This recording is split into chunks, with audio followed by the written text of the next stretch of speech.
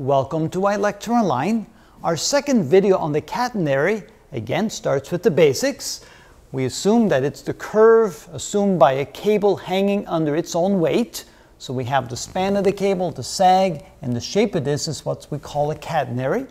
We first take half of that cable and put on the xy axis, and then we resettle it on the xy axis by lifting the the graph upwards so that this distance to the bottom of the cable is called C, and C is defined by the ratio of the tension at the bottom of the cable, which we called F, divided by the weight per unit length. Now in the previous video, we were able to come up with this equation here, where the distance y to any arbitrary point on the cable is equal to the square root of the length from the bottom of the cable to that point squared, we call that S, plus this distance quantity squared as well. And also we learned in the previous video that the ratio of dy dx, which is basically the rise over the run anywhere along that cable, is equal to s over c, because s over c we found was equal to the tangent of the angle at that point. Now what we're going to do is we're trying to find an equation where x is a function of the other three variables, y, c, and s.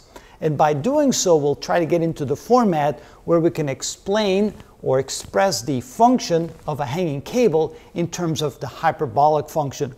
So what we're going to do first is we're going to take this equation here and take the derivative of y with respect to s, which is equal to this. Notice that the 2's cancel out. And then if we solve, let's see, not yet. So we take that. And then we take this equation right here and solve this equation for dx. So we simply take the inverse of that and move the dy across. So we have dx equals c over s times dy.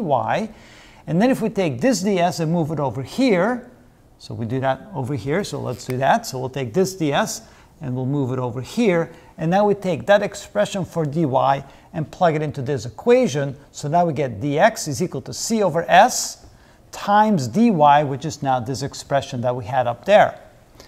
Now what we're going to do is we're going to take the integral of both sides. And of course, this is the integral with respect to s. This is the integral with respect to x. So we get x plus a constant. Again, we'll use the letter k instead of the letter c. And the integral of this is equal to c, because that's a constant that comes out the integral sign, times the natural log of s plus the square root of s squared plus c squared. So now let's take that equation, bring it up here. Now we're going to realize that when x is equal to 0, s must be equal to 0 as well.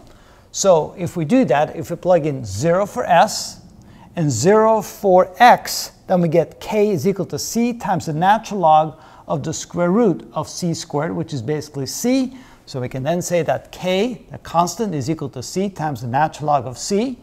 And then, if we then solve this equation for x by moving k to the other side, we now have x is equal to c times the natural log of s plus the square root of s squared plus c squared, that's this quantity right here, minus k, and k now becomes c times the natural log of c. And with a little bit of algebra, then we realize that if we first factor out a c out of both terms right here, and of course the natural log of a minus the natural log of b is equal to the natural log of a over b, we can write it in this format. And now we have an equation where x is equal to a function of C, S, and not yet Y. So we'll see that later. Okay, next what we're going to do is we're going to divide both sides by C. So x over C is equal to the natural log of that. At this point, what we're going to do is we're going to take the antilog of both sides. So we take the left side and use the exponent of the base e, and the right side, e to the natural log, of course, that negates that, and we get what's inside the parentheses here. So now we have e to the x over c is equal to this. And now also what we, what we can do is we have e to the minus x over c. So we still simply take the inverse of that. So now we have 1 over e to the xc, which is e to the minus xc, is equal to the inverse of that. And now notice we have the beginnings of a hyperbolic function, e to the xc and e to the minus xc. And so in the next video, we're going to take this result and actually produce some hyperbolic functions with it. And so then finally we can see how a catenary, which is basically the shape of a hanging cable hanging under its own weight, can be expressed in terms of hyperbolic functions. And then we can use those equations to solve some problems dealing with the catenary or dealing with the hanging cable. And that's how it's done.